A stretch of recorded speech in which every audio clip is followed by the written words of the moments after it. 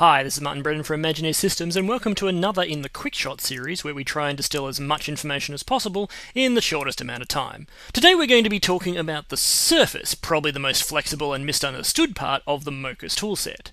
The surface controls not just what your output will be, but can also represent your tracking data as you're tracking, and can also control the track itself if you so choose.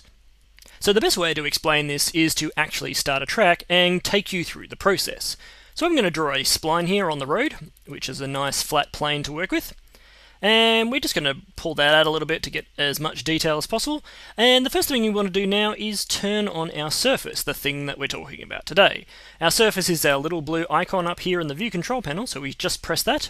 And up it comes, this blue rectangle sitting on our screen now. This blue rectangle will always be a rectangle to begin with, it won't be skewed in any way until we start playing around with it.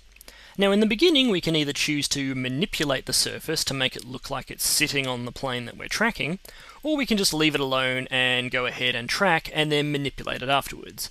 It doesn't matter which way you do it, but in general we recommend that you manipulate the surface first so that you can follow along with the tracking and see how it's going.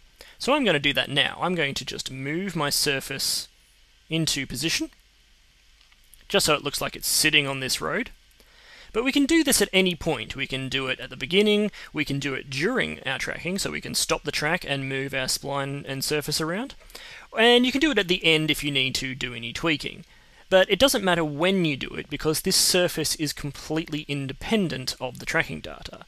It is a child of our tracking data, but we can continue to move it around as much as we like and it won't affect the tracking data.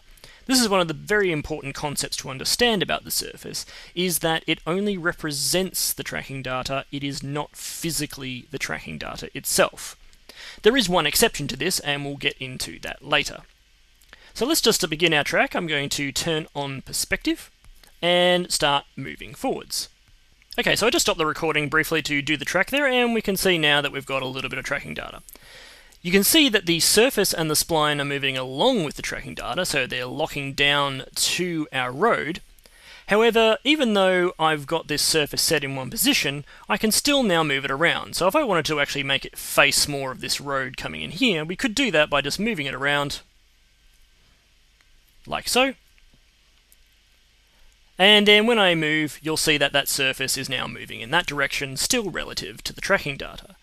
This is again because the surface has nothing to do with the tracking data, it is literally just a representation of that tracking data because it's a child linked to it. The same goes for the spline. The spline is a little bit different in that it's the thing that's searching for information for the tracking data, but it is also just a child of the tracking data. So when I move the surface, I, you can see here I'm not affecting the spline in any way, and if I move the spline, I'm not affecting the surface in any way. I'm also not affecting the tracking data in any way when I move this spline around because it's just searching for information. So these are the two most important things to know about the spline and the surface. They are children of the tracking data, and we can move them about and not affect the tracking data. The only way we affect the tracking data when moving the spline is giving it a new place to search, so I could move it over here and on the same plane and it would still track correctly because it's tracking all on the same plane.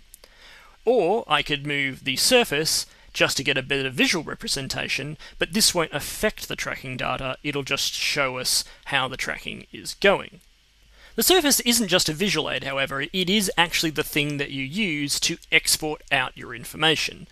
So the four corners of this surface represent a corner pin if we export out to something like After Effects or Nuke or Final Cut. And if you want to do a transform, it will take the four corners of the surface and generate a center point based on that information. So where you position your surface in the shot is very important because the surface actually represents the data once you come to export. Okay, so now that we've talked about how the surface only represents the data and doesn't control it, I'm going to show you a situation where that's a complete and utter lie. Here we have a nice little graveyard scene, and I'm going to track one of the stones using a similar technique. So I'm going to draw my spline as usual, just around this gravestone. And I'm also going to turn on my surface and align it to the stone. So I'm going to just put it on the corners.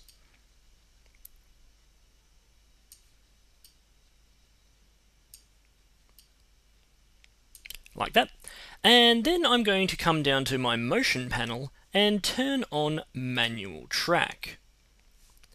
What manual track does is it turns your surface into a track controller.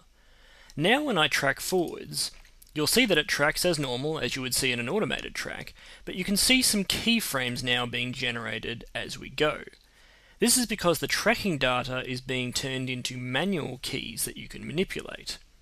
So if I was to move a little bit further down into this footage uh, along the timeline, I can then move my surface manually just as before, but this time, when I move the surface, I actually generate a keyframe, which is affecting our tracking data. This is really useful when you've got an object that you can no longer track in the scene, and you have to fill some gaps where it is completely untrackable. You can switch to manual track, and then go ahead and tweak your surface to make sure that it aligns correctly with the rest of the frames. So that was a quick overview of how to use the surface when tracking in Mocha AE and Mocha Pro. If you have any questions about the manual tracking or even adjust track using the surface, please check out our website at imagineersystems.com where we have more in-depth tutorials on those very subjects. This has been Martin Brennand for Imagineer Systems.